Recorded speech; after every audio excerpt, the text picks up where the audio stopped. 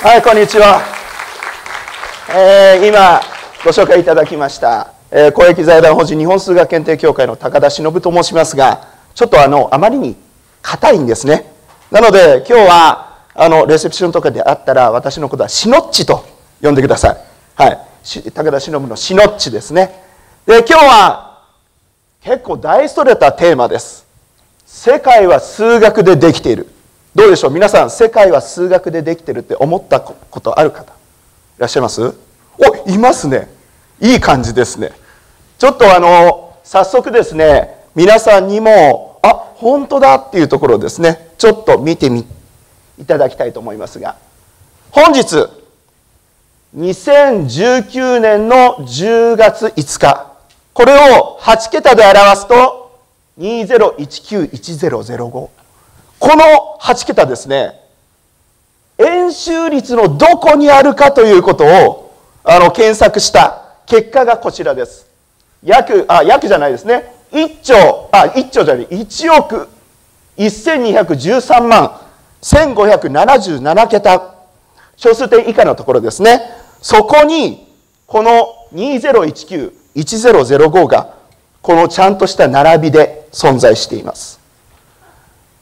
これを聞いたのはですね、サイエンスナビゲーターの、え桜井進さんという方から、まあ、こういうようなことができるんじゃないかということで、実際に彼はイベントとかで行っていますけども、じゃあもっともっと楽しく、こういったものをですね、検索できるものができないかということで、今日作ってきました。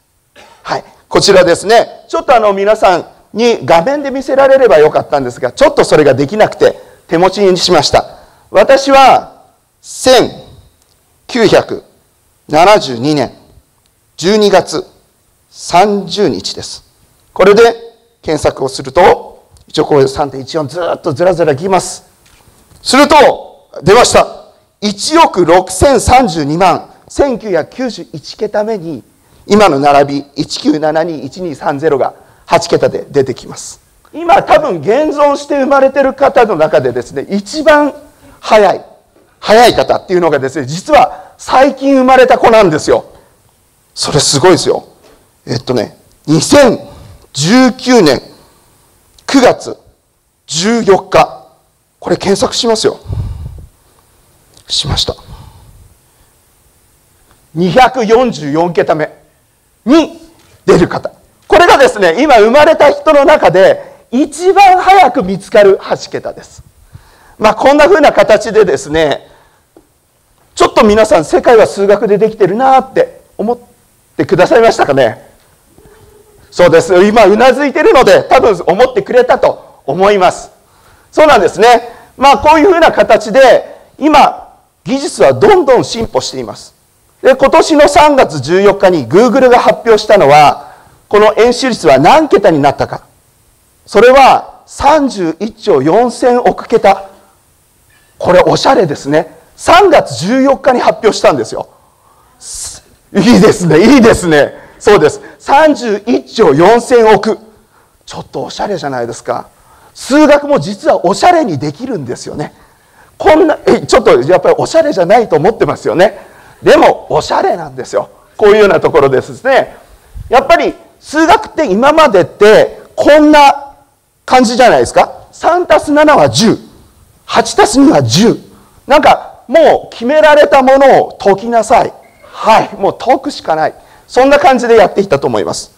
でもこれからは違うんですよね。10はって聞かれた時に皆さん何考えます ?10 はって聞かれて。答えは無限にあります。10はと聞かれたら今みたいな2たす8、7たす3、あ、それだけかもしれない。でも掛け算にすれば、引き算にしたら実は無限に存在します。10億、10引く10億。これだけでも10になりますよね。その時に自分が何を訴えたいか、どうしてこの式を選んだのか、そういったところまで含めて説明をする。そういうようなことによって、自分の考え方をもっと皆さんにアピールすることができるというようなことがですね、やっぱりオープンマインドのアプローチという形になってきます。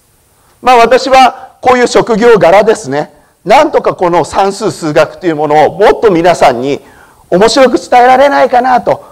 先ほどのですねあの桜井先生には劣りますし例えばこの近くで横浜国大のですね今副学長の根上誠也先生というですね、え、数学者がいますが彼なんかもですね世界は数学でできてるよっていうことを言ってくれるんですけども、まあ、僕らはもっともっと身近な人たちにどんな形で伝えられるかということを考えていきたいと思っています。例えばこれやったことなんですけどもえっと東大寺の大仏殿の中にですね数学の問題を掲示させていただきました。で山岳って言います。で実際に使った問題なんですけどもこれはどういった問題かっていうと大仏が立ち上がって東海道53次を歩いた時一体何日かかるでしょうかという問題をあの作りました。でこれどうですかね？どんなふうに考えます？ここにあるのはまあちょっとした、えー、ところだと座高が大体15メートルですね。まあそういったところを考えると当時座像は立像のちょうど半分で作るっていうのがルールでした。なので立ち上がると30メートルなんですよ。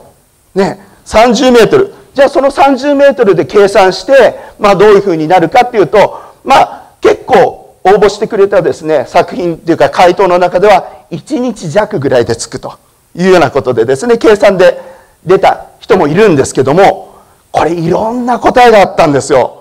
どんな答えか分かります？すごいですよ。そもそも奈良から日本橋までどう行ったの？きっとこれじゃねえかと。実力一瞬で着いたんじゃないかと。なのでこんなの一瞬でしょうと。いう人もいたり。あとえ大仏さんって慈悲深いですよね。きっと。だってお釈迦様ですもん。そうするとそれぞれの宿場町でいろいろ説法をしてくれてですね。なので53次なので54日目で着いたとかいう答えを出してくれた人もいました。でも私はそれこそ考えた結果ということはこの考えるということも数学なんじゃないかなと実は思っています。まあそれっていうのはマセマティカのちょっと S がずれちゃいますね。マセマティクスの原型っていうのはマテーマっていうこれ原型の言葉でこれ由来はですね学ぶべきこと。人として学ぶべきことっていうのは考えていくことです。何かを考えるっていうことができればそれこそ数学なんだよと。だから今まですごくまあ受験とかでやってきた数学っていうのはもちろんそれも数学だし今日何食べようかしら？これ何カロリーかな？これでいいのかしら？これを悩んで選択するのもこれも数学って言っていいんじゃないかなとそんなふうに思ってるわけです。まあ今ですね STEM 教育とか STEAM 教育っていうようなことがですね今の教育業界ではどんどん出てきる言葉ですけども STEM 教育は聞いたことある人。結構いますね。で STEAM も大丈夫ですね。STEAM の A というのはアートが入って、えー、STEM の S はサイエンスで T がテクノロジーで E がエンジニアリングの M がマスマティクスです。そしてそこの中にだんだんと A という領域が入ってきてアーツが、えー、その中に入れてそれを総合的にですね学習していこうというようなことがですね特にアメリカとか中国とかそういったところでどんどんと進められています。まあここの中でお気づきの方もあると思いますがこの M この M がですね一番最後に来るの。これなんでかなと。いろんなことがありますけども私は社会の土台としてこのマセマティクスがあるというようなことをですね位置づけてる。そんなあのところにもあるんじゃないかなと。そんな解釈をしています。でこれちょっとあのがらりとですね話の流れが変わってきますけどもこれ、えー、L キューブって言います。この言葉は私が考えました。なんで考えたかってそれちゃんと商標登録を一回したからですね。一応私が考えたってことになってるんですけど何の略かと。これはライフロングラーニングのですね略です。日本はこれまで障害学習という文化をですね随分と大事にしてきました。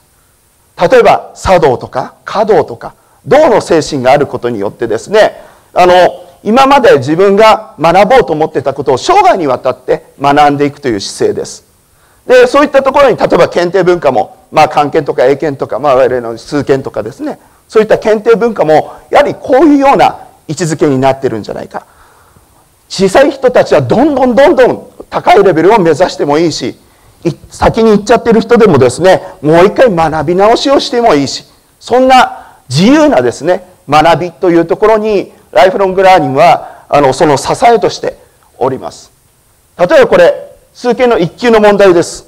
これ大学生とかがですね習うようなあの問題だと思いますけども自由なところになってくるとなんと小学校5年生が最年少でこれ合格してしまったということでもうこういうような時代にどんどんどんどんなっていくんですよね。でもだんだんとですねその障害学習という観点は日本がもう少し違う観点も入れていかなければいけないという状況になってしまいました。というのはこれからのデータサイエンスとかそういった時代の中でやはり数学というのがもっともっとそういった仕事とかそういったところに直結するよというようなことをですね学んでそして使っていかなければいけない。そんな時代になっています。これはアメリカのですね職業ベスト3ですけども1位がデータサイエンティストとか、まあ、これあのそれぞれのところもですね、まあ、理系とかそういったところでもう直結する仕事っていうのがあの実際に稼げるというような形になってきてるわけです。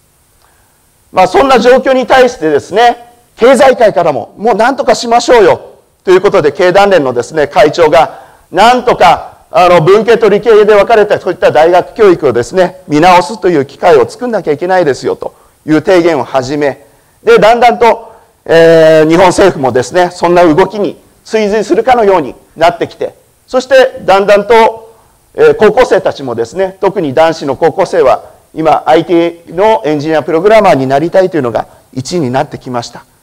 これはものすごく前の10年20年と比べたらですね全然違う流れだと思います。でもここがちょっと問題です。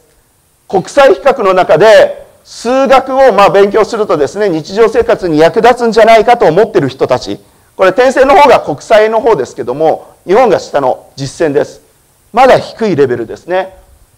で将来自分が望む職に就くためには数学ってそういったところが必要になるんじゃないかと。いうところも若干上がってきてる傾向にありますがまだまだそこに達してないという状況です。まあそういった動きの中で企業もじゃあ数学をですねちゃんと学ぼうというような動きも出てきている。そんな状況もこの中に出てきていまして例えばビジネスで使える統計講座をやったり数的のセンス向上トレーニングを入れるというようなところがですね藤倉とか伊藤木とかそういうニコンさんとかがですねそんな動きになってきているというところはぜひ知っといてください。まあこの数学というのはですね実はどんな分野でも必要になってくる。あの現在と過去と未来ということをですね比較するにもそして想像するにもやっぱりそこの中で数学的なセンスもしくは統計的な手法そういったところを使いながらですねこれからの未来を予測するそういったところの中で数学は大変使われてくるというようなところがあります。これはあの世界の数学会がですねそれぞれの数学がどういったところで、ま、SDGs のところに寄与するかというようなところで3番4番5番8番9111415というようなところをですね実際に明示しながらこれからのところで数学はどういうふうに寄与するかということを考えていこうというふうにあの出ていますので、まあ、そういったところもぜひご理解いただければと思っております。で最後になりますがさあここで、ね、皆さんに最後の最後聞いてみたいと思います。これもね皆さん一言でちゃんと言葉できると思いますが3月14日は〇〇の日。はい。3月14日。これ3月14日は3.14なのでパイ円周率。円周率先ほど言っても僕ずっと今日言ってました。さあ一緒に叫びましょう。かここの丸に入る言葉は何ですか？せーの。すいません。あの漢字2字でですね。漢字2字で、えー、世界は数学でできてるんですよね。はい。いきますよ。さあ丸に入る言葉は何ですか？せーの。はい、ありがとうございました。これで失礼いたします。